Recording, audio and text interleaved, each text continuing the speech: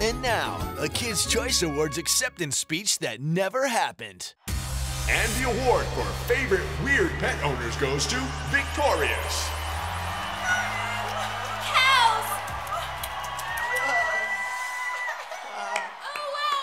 I love my llama so much. We love cows so much. Cows! Oh, they're so exciting!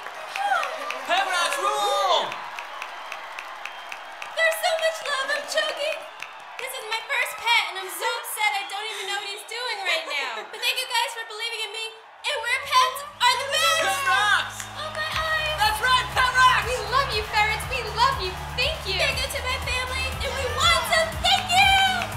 Hermit crabs.